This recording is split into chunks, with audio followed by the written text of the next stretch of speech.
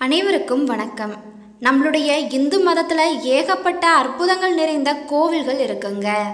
கோவில்கள் அப்படின்னாலே அதனுடைய பின்னணியும் வரலாறும் ரொம்பவே பழமையானதாக இருக்கும். அது மட்டும் இல்லாமல் அந்த கோயிலை சம்மந்தப்படுத்தி நிறைய புராதன கதைகளும் அமைய பெற்றிருக்கும். ஈசனே நேரில் வந்து தன்னுடைய மக்களின் பஞ்சங்களை தீர்த்ததாக சொல்லப்படுது. அப்படிப்பட்ட இந்த கோவில் எங்கே இருக்குது இந்த கோவிலுக்கு வந்து வழிபடுறதால என்னென்ன நன்மைகள் கிடைக்கும்? இந்த தலத்தின் அற்புதங்கள் என்ன அப்படின்றதையும் இந்த வீடியோவில் இன்றைக்கி நம்ம பார்க்கலாங்க. இந்த வீடியோ ரொம்பவே பயனுள்ளதாக இருக்கும். ஸோ கடைசி வரைக்கும் ஸ்கிப் பண்ணாமல் பாருங்கள் நீங்கள் இது வரைக்கும் நம்ம அறியாத தகவல் சேனலை சப்ஸ்கிரைப் பண்ணலனா கீழே இருக்கக்கூடிய சப்ஸ்கிரைப் பட்டனை ப்ரெஸ் பண்ணி சப்ஸ்கிரைப் பண்ணிடுங்க. அப்படியே நோட்டிஃபிகேஷனுக்கான பெல் ஐக்கானையும் மறக்காமல் கிளிக் பண்ணிடுங்க. வாங்க வீவர்ஸ் வீடியோக்குள்ளே போகலாம்.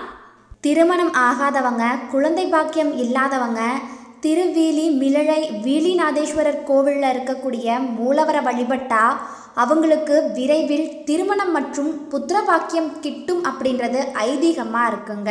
கும்பகோணத்திலிருந்து சுமார் இருபத்தி ஆறு கிலோமீட்டர் தொலைவில் இருக்கிறது தான் திரு வீலி மிளலை அப்படின்ற ஊர். இந்த ஊரில் இரண்டாயிரம் ஆண்டுகள் பழமை வாய்ந்த ஆலயம் ஒன்று இருக்குங்க. இந்த ஆலயம் சிவபெருமானுடைய ஆலயமாக பார்க்கப்படுது. இங்கே இருக்கக்கூடிய பழமை வாய்ந்த இந்த சிவபெருமானை தரிசனம் செய்கிறதால கண்ணில் ஏற்படக்கூடிய நோய்கள் குணமாகிடும் அப்படின்னு சொல்கிறாங்க அது மட்டும் இல்லாமல் இங்கே இருக்கக்கூடிய மூலவரை தரிசனம் செய்கிறதால திருமண வாய்ப்பு தள்ளி போகிறவங்களுக்கு திருமணம் விரைவில் நிகழும் அப்படின்றதும் நம்பிக்கையாக இருக்குது புத்திர பாக்கியம் அமைய பெறாதவர்களுக்கு குழந்தை பேர் அமையும். பொருளாதார மற்றும் சொத்து பிரச்சனைகள் நீங்கும் அப்படின்றது இந்துக்களின் தொன்மையான நம்பிக்கையாக இங்கே திகழ்ந்துட்டு வருதுங்க. இந்த திருத்தல மூலவர் கல்யாண சுந்தரேஸ்வரர் அப்படின்ற திருநாமத்தை கொண்டு பக்தர்களுக்கு அருள் பாலிச்சிட்டு வராரு. மேலும் இந்த ஆலயத்தில் மட்டும்தான் சிவபெருமான் பார்வதி அம்மனுடன் மனுஷ ரூபம் கொண்டு திருக்கல்யாண கோலத்தில் காட்சி கொடுக்குறாரு. இந்த திருக்கோவில் சுமார் இரண்டாயிரம் ஆண்டுகள் பழமை வாய்ந்தது அப்படின்னு சொல்லப்படுதுங்க. ரொம்ப ரொம்ப பழமையான திருக்கோவில் இது அப்படின்றது தான் இந்த கோவிலின் ரொம்ப பெரிய சிறப்பாக அமைஞ்சிருக்கு. திருமணம் ஆகாதவங்க குழந்தை பாக்கியம் இல்லாதவங்க இந்த திருத்தலத்தில் இருக்கக்கூடிய மூலவரை நேரில் வந்து வழிபட்டாங்க அப்படின்னா அவங்களுக்கு விரைவில் திருமணம் மற்றும் புத்திர பாக்கியம் அமையும் அப்படின்றது நம்பிக்கை. இந்த நம்பிக்கை ஆண்டாண்டு காலமாக நிலவி வர்றதா சொல்கிறாங்க கண்ணில் ஏதாவது உபாதைகள் இருந்தாலும் அந்த ஈஸ்வரனை தரிசனம் செஞ்சால் அது சீராகிடும் அப்படின்னும் சொல்லப்படுது. மகாவிஷ்ணுவினுடைய கண்களை இன்னும் கூட சிவபெருமானுடைய பாதத்தில் பார்க்கலாமாங்க. இந்த கோவிலில் வழிபாடு செய்ய செல்றவங்க விளாம்பழமும் தாமரை மலரும் வாங்கி செல்றது விசேஷம். இந்த தலத்துக்குன்னு சில சிறப்புகள் இருக்கு. இங்க சிவபெருமான் சுயம்பு மூர்த்தியா அருள் பாலிக்கிறாரு இங்க பாதாள நந்தி இருக்குங்க. முழு கோவிலுமே பாதாள நந்திக்கும் மேலே அமைஞ்சிருக்கிறது போல காட்சி கொடுக்குது. இங்கே இருக்கக்கூடிய இறைவன் காசி யாத்திரைக்கு கிளம்பும் மாப்பிள்ளை கோலத்தில் அருள் பாலிக்கிறதால இந்த சுவாமியை மாப்பிள்ளை சுவாமி அப்படின்னும் சொல்கிறாங்க மகா மண்டபம் திருமண்டபம் போல பந்தல் காலுடன் காட்சியளிக்கிறது. இந்தியாவில் வேற எங்கேயுமே இல்லாத சிறப்பாக சொல்கிறாங்க கொடிமரம் அருகே சிவலிங்கம் அமைஞ்சிருக்கிறது மற்றும் ஒரு சிறப்புங்க. இங்க சிற்ப வேலைப்பாடுகள் நிறைந்த பிரம்மாண்ட வல்வாள் நந்தி மண்டபம் அமைஞ்சிருக்கு. கோவிலுக்கு எதிரில் பெரிய குளம் ஒன்று இருக்கு. மிகப்பெரிய கோவிலாக இது காட்சி கொடுக்குது. கோவில் கோபுரம் கிழக்கு நோக்கியபடி அமைஞ்சிருக்கு. இந்த கோவிலில் மாடக்கோவில் அமைப்புடன் காணப்படுதுங்க. தெற்கு பிரகாரத்தில் தல விநாயகர் சன்னதியும் மேற்கில் சோமஸ்கந்தர் முருகன் மகாலட்சுமி சன்னதிகளும் வடதிசையில் சண்டிகேஸ்வரர் சன்னதியும் இருக்கு. அது மட்டும் இல்லாமல் இந்த கோவில்லையே நடராஜர் சன்னதியும் தனியாக அமைய பெற்றிருக்கிறது சிறப்பாக இருக்குங்க. இங்கே வந்து வேண்டிக்கிட்டோம் அப்படின்னா திருமணத்தடை குழந்தை பாக்கியம் கல்வியில் சிறந்து விளங்குறதும் சிறப்பு அப்படின்னு சொல்கிறாங்க இங்கே இருக்கக்கூடிய சுவாமிக்கு அம்பாளுக்கு அபிஷேகம் செய்து வஸ்திரம் அணிவிக்கிறது தான் நேர்த்தி கடனாக இருக்காங்க. அது மட்டும் இல்லாமல் இந்த தலத்துக்குன்னு சில பெருமைகளும் இருக்குது கார்த்தியாயன முனிவர் அப்படின்றவர் தனக்கு குழந்தை வரம் வேண்டி மனைவியுடன் கடும் தவம் புரிஞ்சிருக்காரு. இவருடைய தவத்திற்கு மெச்சிய பார்வதி அந்த முனிவருக்கு மகளாக பிறந்திருக்காங்க. அந்த குழந்தைக்கு கார்த்தியாயினி அப்படின்ற பெயரிட்டு வளர்த்து வந்திருக்காங்க. பெண்ணுக்கு திருமண வயதும் வந்திருக்கு. இறைவனே கார்த்தியாயினியை திருமணம் செய்து கொள்ள வேண்டும் அப்படின்னு வேண்டியிருக்காரு. முனிவரின் வேண்டுகோளின்படி சித்திரை மாதம் மகம் நட்சத்திரத்துல இந்த தளத்துல எழுந்தருளி அம்மனை திருமணம் செஞ்சிருக்காரு. அப்போ முனிவர் என்றென்றும் இதே திருமண கோலத்துல இந்த தளத்துல எல்லோருக்கும் அருள்பாலிக்க வேண்டியிருக்காரு. அதன்படி இந்த தளத்தில் இருக்கக்கூடிய இறைவன் மூலஸ்தானத்திலேயே திருமண கோலத்துல அருள்பாலிக்கிறாரு இவர் இந்த தளத்தில் திருமண கோலத்துல அருள்பாலிக்கிறதுக்கு இதுதான் காரணமாக சொல்லப்படுதுங்க.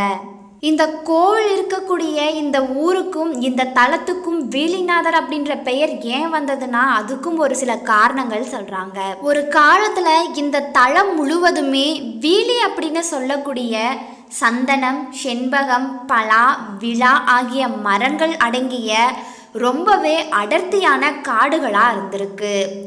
மிளலை குறும்பர் அப்படின்ற வேடுவர் இந்த தல இறைவன் மேலே கொண்ட அன்பால தினமும் விழாங்கனிய நெய்வேத்தியம் செய்து வழிபட்டுட்டு வந்திருக்காரு.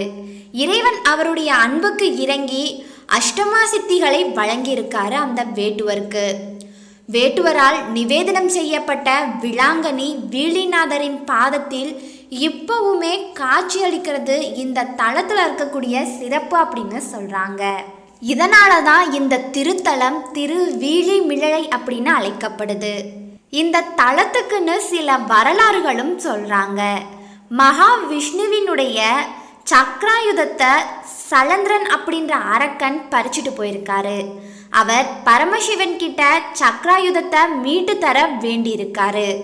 பூலோகத்தில் வேலி செடிகள் அடர்ந்த இடத்துல தான் இருக்கிறதாகவும் அங்கே தினமும் பூஜை செய்தால் சக்ராயுதம் கிடைக்கும் அப்படின்னும் அருள் பாலிச்சிருக்காரு மகாவிஷ்ணுக்கு. அதே போல விஷ்ணுவும் இந்த திருத்தலத்தில் தன்னுடைய பெயரால ஒரு தீர்த்தத்தை உண்டாக்கி அதிலிருந்து தினமுமே சிவனுக்கு அபிஷேகம் செய்து ஆயிரம் தாமரை மலர்களால் ஈசனை வழிபட்டுட்டு வந்திருக்காரு. ஒரு நாள் சிவனின் திருவிளையாடலால் சிவ பூஜைகளுக்கான ஆயிரம் தாமரைகளில் ஒரு தாமரை மலர் குறைந்திருக்கு. அந்த ஒரு தாமரைக்கு பதில் விஷ்ணு தன்னுடைய கண்ணையே ஆயிரமாவது மலரா தந்திருக்காரு. இப்ப கூட இந்த திருத்தலத்தில் இருக்கக்கூடிய இந்த மூலவரின் கால்கிட்ட அவருடைய கண் இருக்கிறதா சொல்லப்படுது. இதனால தான் இந்த கோவிலில் கண்மலர் காணிக்கையாக தரக்கூடிய பழக்கம் உருவாகியிருக்கு. இந்த பூஜைக்கு மகிழ்ந்த சிவன் சலந்திரனை வதம் செய்து சக்ராயுதத்தை விஷ்ணுக்கு கொடுத்துருக்காரு. விஷ்ணு சிவனுக்கு பூஜை செய்த கண்மலர் இப்போவுமே இந்த சிவனுடைய பாதத்தில் இருக்கிறது. இந்த திருத்தலத்தின் சிறப்பு அப்படின்னு சொல்கிறாங்க இங்கே இருக்கக்கூடிய மூலவர் சுயம்பு மூர்த்தியாக காட்சி கொடுக்குறாரு. இந்த கோவிலை மூலமாக கொண்டு ஒரு சிலர் பாடலும் எழுதியிருக்காங்க. சம்பந்தரும் நாவுக்கரசரும் பல தலங்களை தரிசித்துட்டு அதுக்கப்புறமா இந்த கோவிலான திருவிழி மிழலையில் சில காலம் தங்கியிருக்காங்க. அந்த சமயம் இங்கே இருக்கக்கூடிய இடத்துல ரொம்பவே பஞ்சம் ஏற்பட்டிருக்கு. அது மட்டும் இல்லாமல் மக்களும் பயங்கரமான பஞ்சத்தில் வாடி வதங்கியிருக்காங்க இந்த இருவருமே வீழிநாதரை பணிந்து பஞ்சம் போக்குறதுக்கு பாடியிருக்காங்க. சிவபெருமானை நினைத்து துதிப்பாடி பஞ்சம் போக்குமாறு வேண்டியும் இருக்காங்க. இருவருடைய கனவழியும் தோன்றிய ஈசன் தினமும் ஒரு பொற்காசு தர்றதாகவும் அடியார்களின் பசி தீர்க்கும்படியும் சொல்லியிருக்காரு. அதன்படி கிழக்கு பீடத்தில் இருக்கக்கூடிய காசை சம்பந்தரும் மேற்கு பீடத்தில் இருக்கக்கூடிய காசை திருநாவுக்கரசரும் எடுத்து அடியார்கள் கிட்ட கொடுத்து அவங்க பசிய போக்கியிருக்காரு. இப்போவும் படிக்காசு பீடம் இருக்கிறதா சொல்கிறாங்க இங்கே இருக்கக்கூடிய விநாயகர் படிக்காசு விநாயகர் அப்படின்னும் அழைக்கப்படுறாரு. இங்கே இருக்கக்கூடிய சிற்ப வேலைப்பாடுகள் நிறைந்த பிரம்மாண்டமான வல்வாள் நந்தி மண்டபம் பார்க்குறதுக்கு ரொம்பவே அழகாக இருக்குங்க.